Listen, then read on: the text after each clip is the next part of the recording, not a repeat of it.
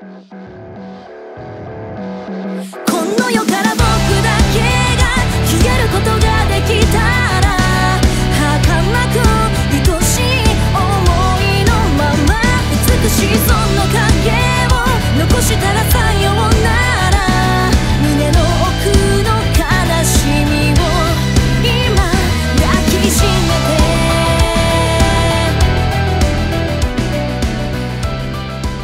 アルバム「アシンメトリー」13曲すべて取り終えました。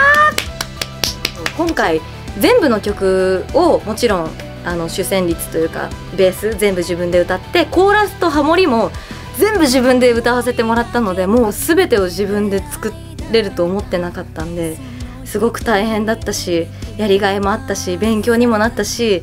また新たな壁が見つかったりして1年前から作った曲も今回入っているので約1年間の私の歌声が聴けるってことになるのでちょっとあこの曲すごい声が若いなとかあこの曲なんかすごくハスキーだなとか本当にいろんな私の声が聴けるアルバムになっていると思うのでぜひ皆さん耳を澄ませてあこのコーラスハモリも全部なあちゃんなんだって思いながら聴いてくれると嬉しいです。とにかく無事に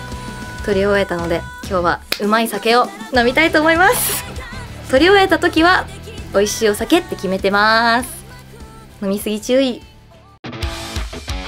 えー私のアルバム「アシンメトリー」は11月7日に発売されるんですけどそれまでまだまだ期間が長いということで、えージャケ写だったりいろんな曲の情報とかだったりが小出しにこれからなっていくのでぜひ皆さんそちらも楽しみにしていてください。